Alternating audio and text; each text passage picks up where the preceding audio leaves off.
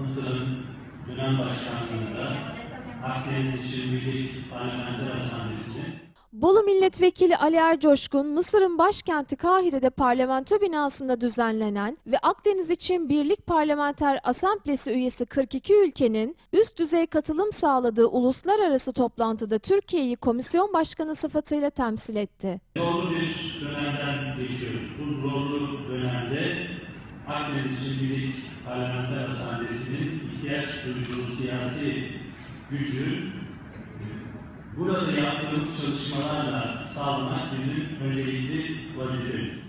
Darbe sonrası yeniden açılan Mısır parlamentosuna giren ilk Türk milletvekili olan Ercoşkun, Başkanlık Divanı'nda aldığı görev ile Mısır parlamentosunda Türkiye Cumhuriyeti'nin ay yıldızlı bayrağını dalgalandıran ilk Türk siyasetçi oldu.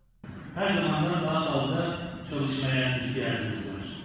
Bildiğiniz gibi kuzeyle güneyi bir araya getiren bölgedeki tek örgüt aslında bu örgüt.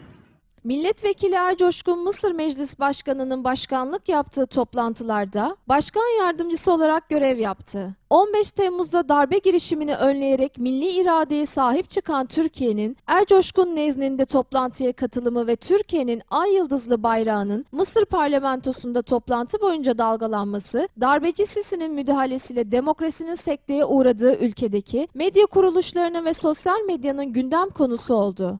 Türkiye olarak bu örgüte oldukça önem veriyoruz. Bölgedeki barışın ve istikrarın sağlanması için bu örgütün çok büyük bir öneme ait olduğunu düşünüyoruz. Avrupa Birliği tüm organlarıyla birlikte bu konuda çok daha somut, net adımlar atmalı ve biz de meslektaşları olarak bunları desteklemek için elimizden ne geliyorsa e, yapalım, birlikte çalışalım. Milletvekili Ercoşkun, uluslararası toplantıda katılımcı parlamenterlere öncelikle yasa dışı göç başlığında seslenerek şunları söyledi. Türkiye'deki özellikle sınır bölgesindeki kamplara davet ediyorum. Beraber gidelim, görelim, dinleyelim.